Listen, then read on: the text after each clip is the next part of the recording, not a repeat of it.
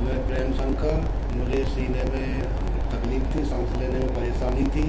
मैं Jeevan hospital Delhi gate number one में और एडमिट हुआ। वहाँ डॉक्टर सौम्या ने मुझे फिजियोथेरेपी दी और मैं उनके इलाज से काफ़ी संतुष्ट हूँ। मैं बिल्कुल